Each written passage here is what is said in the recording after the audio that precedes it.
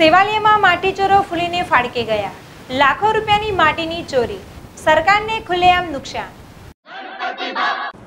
ખેડાના ઘરતેશ્વર તાલુકાના સેવાલિયા પાલી ગ્રામ પંચાયત ખાતે છેલ્લા કેટલાક સમયથી સરકારી જમીન ખૂબ મોટા પ્રમાણમાં માટી ચોરી થતી હોવાની ફરિયાદો ઉઠી છે અને ચોરો દ્વારા લાખો રૂપિયાની માટી ચોરી વગર પરવાનગીએ પોતાની ખાનગી માલિકીની જગ્યાઓમાં ગેરકાયદેસર પૂરણ કરી સરકારને લાખો રૂપિયાનો ચૂનો લગાડવામાં આવે છે.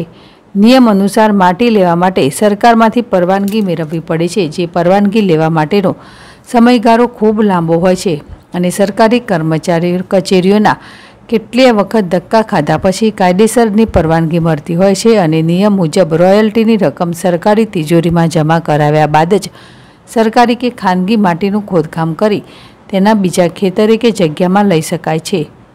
તેમ છતાં કેટલાક ખનિજ માફિયાઓ સરકારી માટીની પરવાનગી વગર ખોદી પોતાના ખેતરોમાં પૂરી સરકારી કાયદાનું ખુલ્લે આમ ઉલ્લંઘન કરી રહ્યા હોવાની પુખ્ત માહિતી મળી છે. સ્થાનિક રહીશો દ્વારા જણાવ્યું કે રાત્રે મોડા સમયે જેસીબી મશીન દ્વારા સરકારી ગૌચર જમીનમાં ખોદકામ કરી તે માટે ટ્રેક્ટરો દ્વારા ભરી લઈ જવામાં આવે છે.